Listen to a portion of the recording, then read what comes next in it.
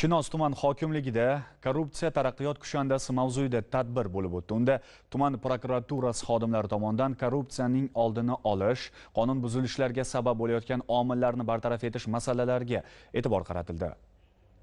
Korrupsiya muammosi va unga qarshi kurash masalasi hozirgi davrning eng dolzarb vazifalaridan biri hisoblanadi. Chunki bu illatning keng quloch yoyishi o'ta salbiy oqibatlarga olib keladi. Korrupsiya demokratik jarayonlarning amalga oshishiga to'sqinlik qiladi. Chinoz tumani hokimiyati tashkil qilingan tadbirda ham ayni fikrlarga urg'u berildi. Uchrashuv davomida qonunchilikda kiritilayotgan o'zgarishlarning mazmun mohiyati ishtirokchilarga tushuntirib o'tildi.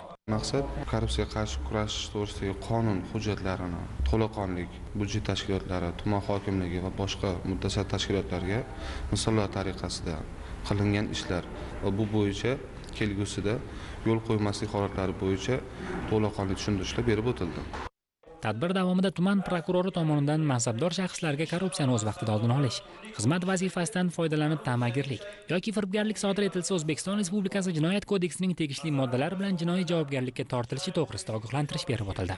Uchrashuv davomida shuningdek yig'ilish qatnashchilari tomonidan korrupsiyaga qarshi kurashish borasida fikr mulohazalar bildirildi.